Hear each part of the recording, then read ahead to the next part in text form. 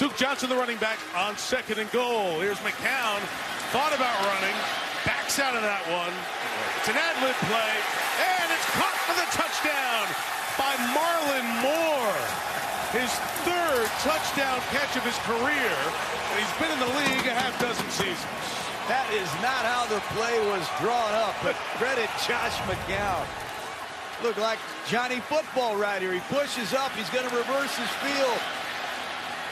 And he keeps his poise and has a sense to find Marlon Moore, who did a great job working with his quarterback when he saw him in trouble. Moore got knocked down. He got up. He kept alive, and he scored a touchdown.